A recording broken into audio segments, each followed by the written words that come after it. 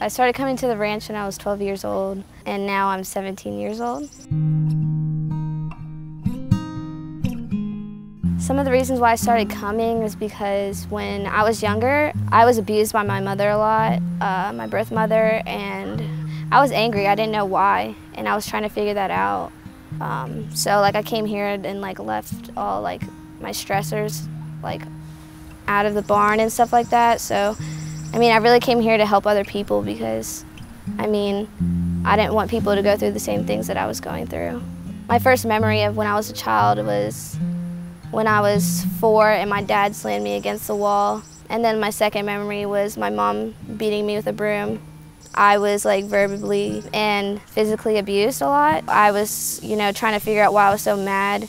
So like I started going to therapy when I was 12 years old. I'm still learning how to like forgive my parents for that. I got sent to a wilderness program in North Carolina. Um, which is basically they take everything from you. You go hiking every day. So I've been sober for two years now.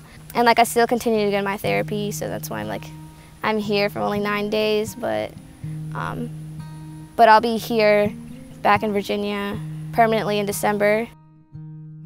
Samson's my special horse because I see myself a lot in, in a horse. I know that sounds weird, but it's kind of like he's stubborn and kind of defiant like I am, so I kind of learned my ways to get him to like respect me and like I respected him. So the ranch has impacted me in a positive way because when I was going to high school, I was getting into drugs and I was getting in trouble at home. I like came here and like I learned how to respect others, but also I kind of like realized that I have to re respect myself to respect others and also love myself before I can love others.